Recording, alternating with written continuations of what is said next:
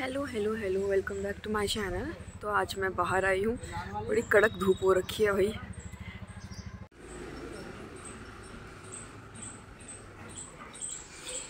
तो यहाँ के पार्क का मॉल देख सकते हैं आप, इधर। कूड़े का डब्बा देखो, उल्टा पड़ा हुआ है। कूड़ा कहाँ डाले, उल्टे में? ये पता नहीं क्या टंकी है कि क्या है। लोग घूम रहे हैं। स्कूल के स्टूडेंट्स जा रहे हैं। मुझे अपने भी स्कूल के दिन याद आ गए हैं भाई। भाई बहन हो सकते हैं या फिर समझ रहे हो आप। आप समझदार हो तो आप समझ सकते हो कि मैं क्या कहना चाह रही हूँ।